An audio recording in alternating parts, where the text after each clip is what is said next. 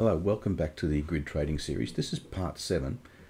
In part 6 I showed one of the suggestions to the grid trader which was to close everything when equity reaches certain targets and that basically eliminates the holding of trades for a long time to minimize the swap that you might pay on this strategy. Uh, but I did say at the time that was fine in the strategy tester, the way that I'd written it, and that I would come back and show how you could modify this to run live and there are a couple of problems if you do run that live. I also realize some people might be jumping into these, they might find these videos through a YouTube search, and you might be lost as to where we are. This isn't necessarily a beginning to end series. What I did was start with a basic grid trader, and then I've modified that a couple of times, and then I've implemented various suggestions, but those suggestions haven't been building on each other, so I keep going back to the base. So just to show where we are in the path, part one, started with the basic grid trader. Part two, I modified that same grid trader to run on MT4.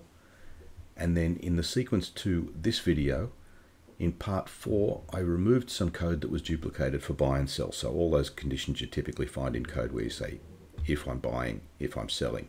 I removed all of those to make the code common, to make it easier to read and remove duplicate code. And then in part six, as I said, I implemented the modification suggested here, which is to close everything on equity targets, and now we're up to part 7. So the purpose of this video is not to revisit the code in the earlier parts, but I'm going to be updating the code at the end of part 6 to solve two problems. The first is that you will probably be restarting MetaTrader at various times and all the internal variables will get reset. And the second is that by simply looking at overall equity, you might run into issues if you're executing some manual trades of your own or if you have other experts or the same expert on different symbols running. So that will address the situation where I simply want to look at the profit on this particular expert and close everything when it reaches targets. So let's go straight to the code and get onto this. So I'm going to start by making a new version. This is 1.005 where I left off last time. I'm just going to make a 1.006 open containing folder, copy the version 1.5, rename that to 6, and then I can come back in here and just change that to a 6, open the main file,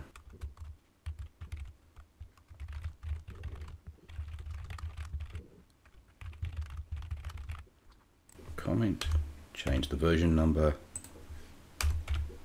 and change that. Just quickly check to make sure that still compiles. It does. First thing I want to do though, uh, if we go to, you might remember last time I said that I had made a mistake by putting this INP magic in this file. This is a common include file. If I try to compile this, it simply has an error because of this INP magic that doesn't exist.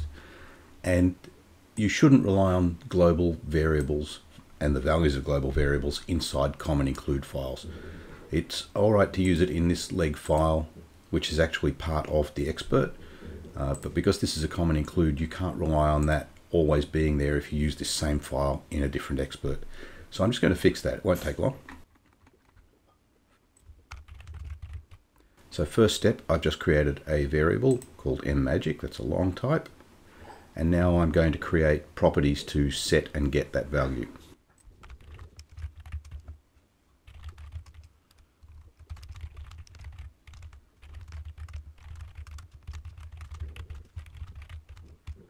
Now these are my two uh, properties, the get and the set.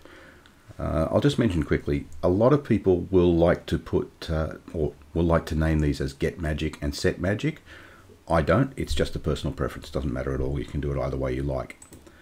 The second thing you'll notice though is that for the set function, this where I'm setting the value to value, I'm returning the same value again, where quite often set functions have a void type. Uh, this is just my way of using a, a shorthand occasionally. Um, in cases where you might want to, for example, set a value based on some kind of function and use the value again later in the code as well as setting the property. So typically you would do something like this. Let's write some code in here. You might have um,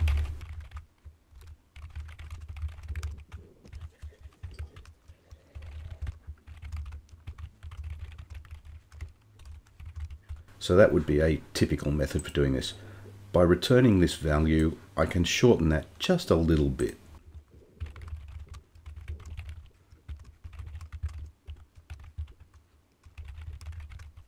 And so that's the only reason I do it. It causes no problems to have this returning a value, um, and I can just use this kind of shorthand. Now this is a fairly trivial example, but I have found cases where it does simplify my code a bit. So that's the first step. And next I want to remove the use of INP magic here and change that to M magic. Right, so that takes care of the changes to this common include file. I can compile that now and it works. Uh, but I need to actually get this magic number into the file. I've made the M magic a protected variable, so it's already available to this leg that's inside the expert. I will do two things here then.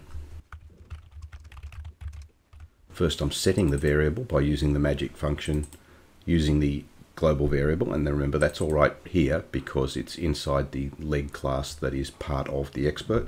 Um, this is also not great code, but I don't mind for this case. Uh, then I'm just going to remove all uses of INP magic from this leg and change them to M magic, and that compiles now. Okay, so that takes care of that small problem that I had earlier. So now let's move on and look at the first case where the problem is that I ran this uh, test over 15 months. It's easy to do in the strategy tester, but in real life, if you tried to run something for 15 months, you're probably going to restart. And if we look at the main where we made the changes, I have this equity start value that is an internal variable. And if you restart MetaTrader, then you're going to lose the value in that. So it's not really practical to do this in a live situation. So what I want to do is find an easy way of knowing what that equity start was if it gets restarted. And the simple way is to use global variables. Now, again, this is something of a personal preference, but I like to have a class that handles my global variables. I've already created here inside Orchard persistence this includes Orchard Persistence, uh, and I've got gvar. I have a folder called persistence because I might have classes for file storage and so on. But in this case, I'm just using global variables. I've already created the class global variables. I'm including object, and I've set up the class C gvar inheriting from C object. I maintain an internal variable called key. So if you think about global variables, you'll want to set them from all kinds of different places. And you may have two different experts that are trying to set a global variable for something like uh, last price. I use this initial key as a prefix to that. So this key will contain information that lets me identify the symbol and the expert that we use to set this particular global variable.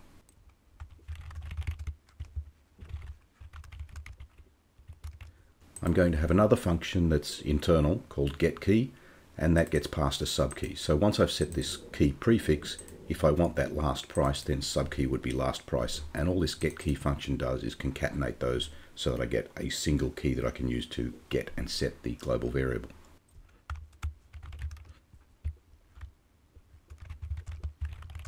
For the constructor, I take one argument, that's a key, and that's what will go into this prefix key.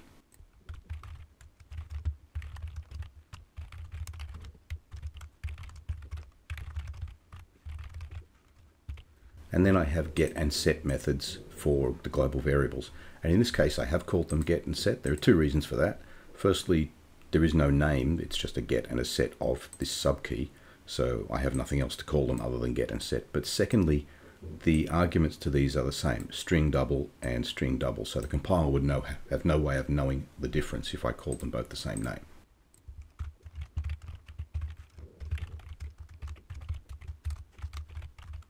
The constructor is very simple in this case. I'm just assigning the key that's passed in as the master key, which is the, as I said, the prefix.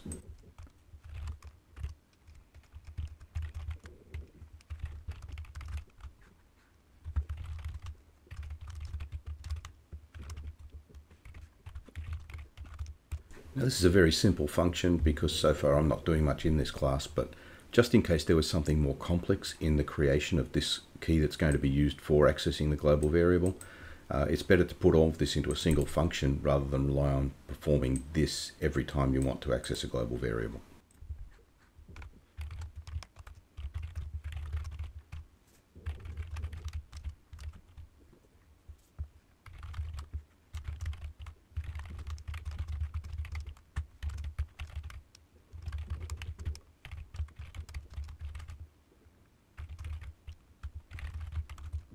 Now in the get function, um, I'm initializing value to the default value. I could have just not initialized it, doesn't really matter.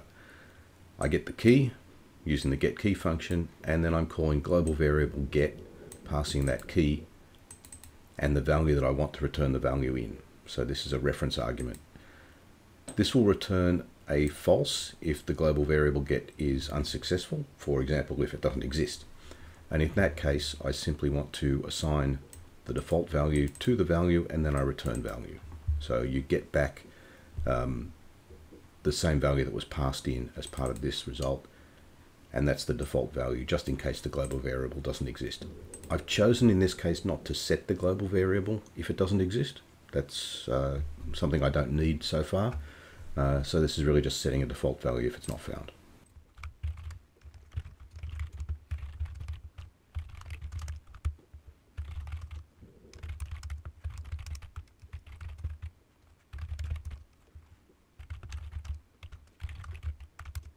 And the set function is very simple. Again, I just build up the key using the get key function called global variable set for the key and the value. That's this argument here.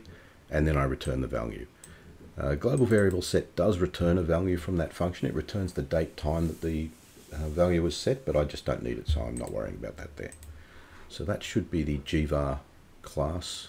Make sure no errors there. Now to go back to my expert, I'm going to go to config I'm going to add a line where I include that gvar file.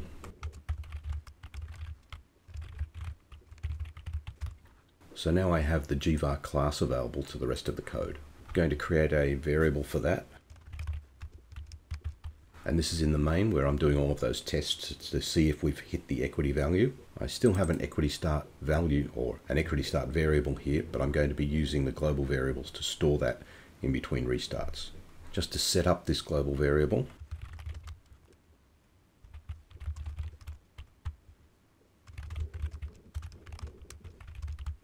Now remember, I'm handling the very simple case here where this is the only expert running on your account. Uh, so there's no need to worry about any other experts or other copies of this single expert. So I'm just using GridTrader as the key here. And so I'm calling cgvar with that key, which initializes that as the prefix to any values I want to store in global variables. Now, because I've created this GV, I need to delete it when I'm finished. And I, just in case this is a restart, I don't want to simply get equity start from the account info. What I want to do is try to get it from the global variables.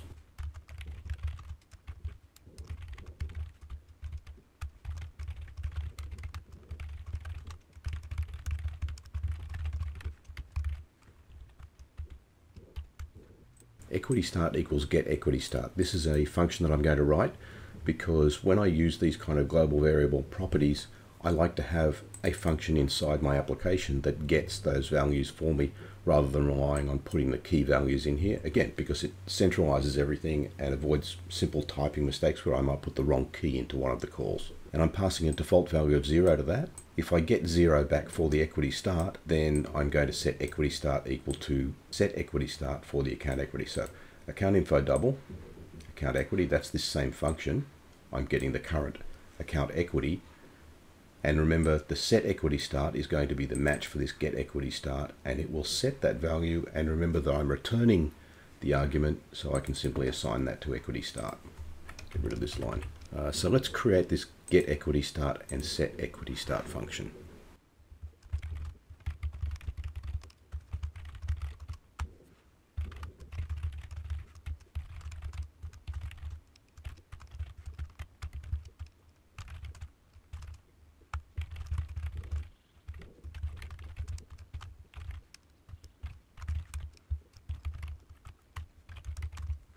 I'm creating a defined value GV equity start and I'm putting the key into that. Rather than repeat this string throughout the code, I'm just going to repeat or use that defined value. There's my get equity start function, takes an argument double value, and it returns what I get back from the global variable.get for that equity start. That's the subkey and the value. And the set equity start takes the same argument, and this is again a reason why I've called these get and set. It returns the global variable set with that equity start subkey and the value.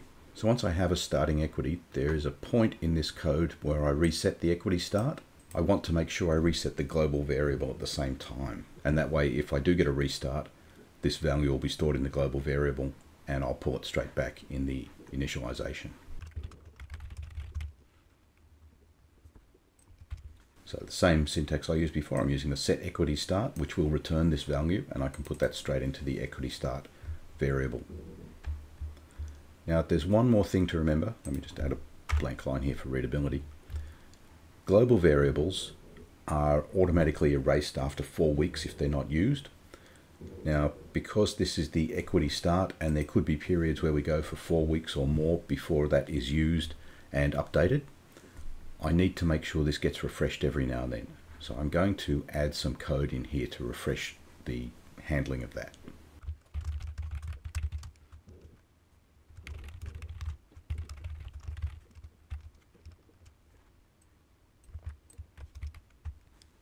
So if this is a new bar, then I just reload equity start with what is in the global variable. Um, now this should have been set earlier. I'm not worried about it unless you manually go into your terminal and start deleting these global variables. It will still be there as long as this on tick happens more frequently or this new bar happens more frequently than once every four weeks, then this will just keep equity start alive. Uh, the is new bar function's not here yet. Let me create that.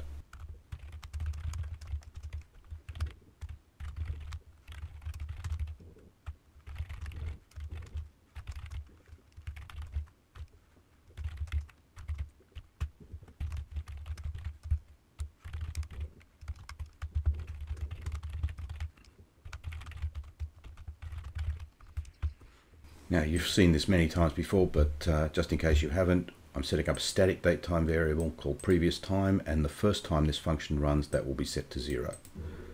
Every time the function runs, I'm getting the current time, which is the i time for the current symbol and period on bar number zero. So that's the start time of the currently open bar. Every time a new bar opens, this is going to change to a new time.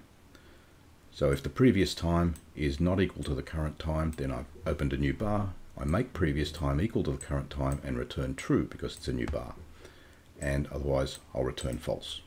And just because I've called this is new bar, I'm going to try to be consistent. I'm going to call it is trade allowed. That will generate an error somewhere, but I'll fix it when I get to the compile.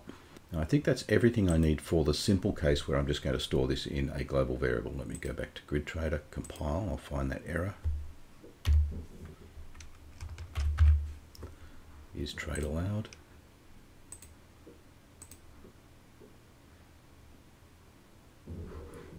And that all compiles. So that should be fine for storing the value during restarts. There's not really anything that I can show in the strategy tester for this, that's just fixing the code.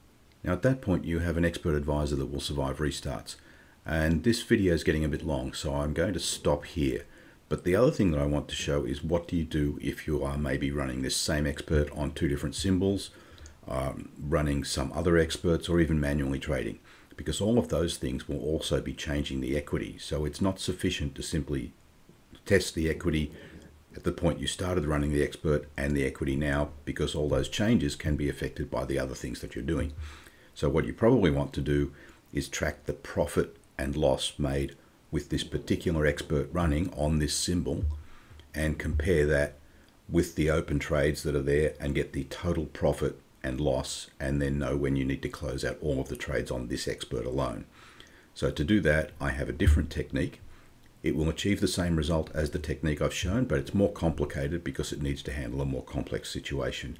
And because this video is becoming a bit too long, I'm going to stop here and pick up in another video where I will show those techniques as well. So for now, if you have other suggestions on how to improve the grid trader, then please leave comments and I'll try to get through as many of those as I can in the future. Thank you for watching.